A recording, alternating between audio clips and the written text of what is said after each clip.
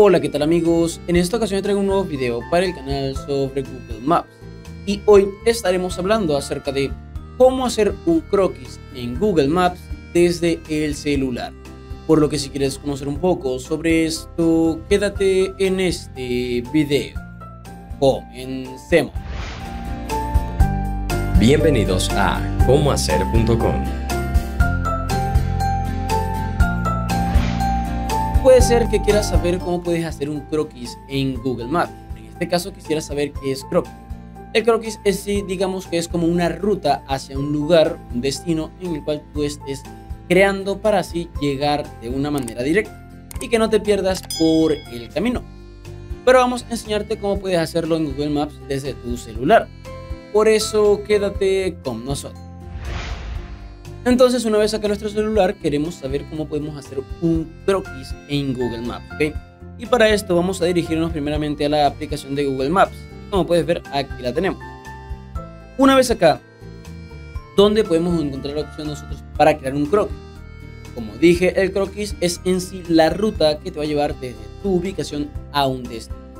Y para esto, esa opción la tenemos acá, en lo que sería debajo de nuestro punto de ubicación, ¿ok? Como puedes ver, ahí estoy presionando la tecla. Vamos a dar acá en la tecla y eso nos va a poner esto, desde nuestra ubicación hasta un destino. Vamos a poder elegir el destino, podemos seleccionarlo escribiendo el destino que queremos o seleccionándolo en el mapa. Le damos en seleccionar en mi mapa y aquí digamos que voy a poner lo que sería el destino.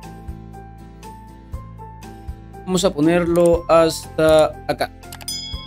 Ok, hasta acá. Le voy a dar en aceptar en la parte superior derecha. Y como puedes ver, aquí ha creado mi croquis. Ahora, ¿qué pasa? Este croquis lo podemos modificar. Hay muchas rutas disponibles para poder seleccionar la mejor. Podemos seleccionar esta, podemos seleccionar esta que está acá, o podemos seleccionar esta. Pero quiero es crear la mejor ruta, que en este caso es esta que vemos acá, ¿ok? Aquí tenemos nuestra mejor Ahora, en sí, esta ruta la podemos hacer mediante automóvil, bus o también lo que sería caminando.